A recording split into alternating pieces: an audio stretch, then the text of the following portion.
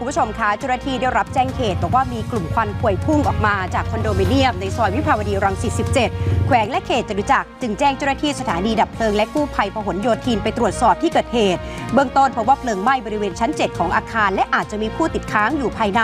แต่ว่าหลังใช้เวลาประมาณ 15 นาทีในการระงับเหตุจึงควบคุมเพลิงไหม้เอาไว้ได้ เบื้องต้นไม่พบผู้ที่ได้รับบาดเจ็บหรือว่ามีคนติดค้างอยู่ข้างใน